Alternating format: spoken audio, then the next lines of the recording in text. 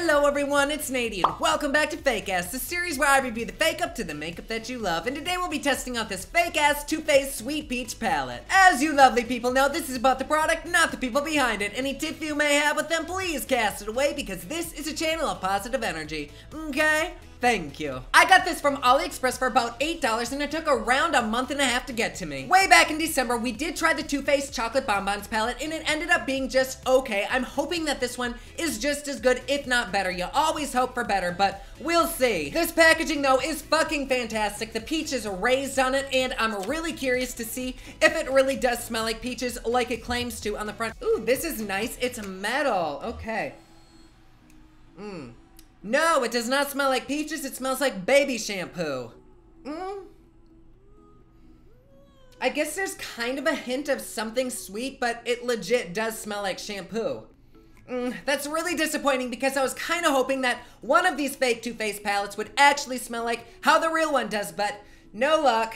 Eh, no luck. Like I said, the peach is raised and there's beautiful gold accents and don't I just look like Vanna White here? I fucking love it. The side has the gorgeous Too Faced logo on it and the opposite side has all the ingredients and shit. The back honestly looks pretty damn close to the real. The picture of the pigments is lovely and not pixely at all. Even the little peach has a nice golden leaf. So freaking cute. The palette itself is incredible as well. Nice and metallic and very sturdy feeling. The back is a little bit dark because of the lighting, but just like the original, it has a sweet description of the product product, the logo, Too Faced, etc. Opening this little bitch up, it does have a very nice looking mirror on the inside. The shadow colors are not exactly close to the real, but they're not terribly different either. I know the camera lighting is kind of messing with them and making them all look a little bit muddy, but though there's some differences, for the most part, it's just like the fakes colors are more faded. All right, let's watch this bitch. You guys know the song. Are you ready? It's Spartan time.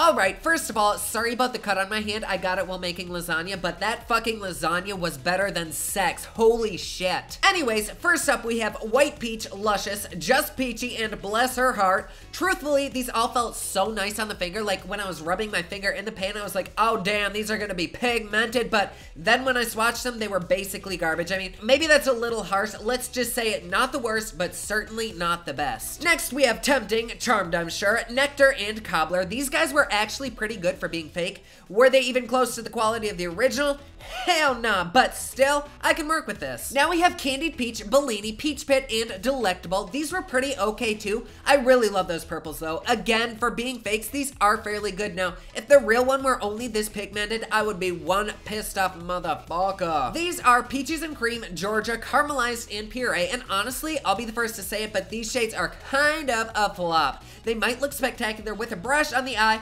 but swatching, they're just meh. And finally, we have Summer Yum and Talk Dirty to Me. Disappointing to say the least, and Talk Dirty to Me was much like my first lover, chunky and cheap looking. On to the look. Of course, I prime my eyes and set translucent powder under them to catch any fallout. On a fluffy brush, I'm setting that primer with Georgia, and truthfully, this did a pretty damn good job of evening the tone of my eye. Then in the crease, I'm blending out Puree. This shadow, for some reason, was kind of drowned out by my lights. Like, in person, it looked great, but on here, it kind of doesn't look like much. So I'm going over that with Summer Yum just to help deepen the crease a bit. Then with Candied Peach and Just Peachy, I'm blending that all over my lid and up my crease. I fucking love this color. It's so subtle, but very pretty. Next, I tried to apply Bless Her Heart to my lid, and this little shit stain was not sticking. So I went in and added some Touche Eclat by YSL to the lids and dabbed that out. Literally a million times better. The shadow applied so easily after that. Next, on a flat brush, I'm mixing Summer Yum with Charmed, I'm sure, and placing that on the outer corner of my eye just to start creating that nighttime glam effect that I die for. On the bottom lash, I'm smoking out Puree, and I have to say, I'm honestly impressed with these shadows so far. I know they didn't swatch good, but they're not half bad on the brush. Next, I'm going in right on the lashes with Tempting and very lightly working that in between each lash. Then under that, I'm smoking out Delectable, and I'm also going to put some on my upper lash line just for shits. Then, of course, I'm finishing with liner, mascara, and falsies, and I know my liner is not the best, but holy shit, you guys, my gorgeous, amazing friend and fellow YouTuber, Paulina, taught me the easiest way to do liner, and she is a stunner, a total makeup goddess.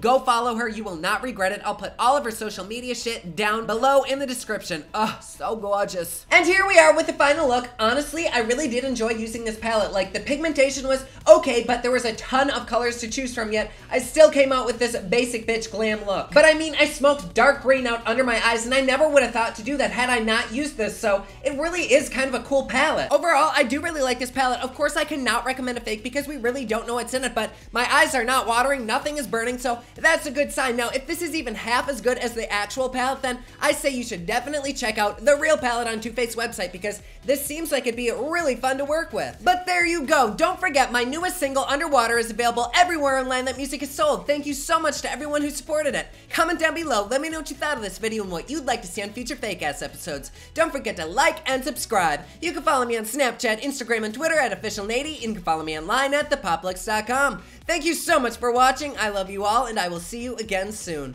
Bye.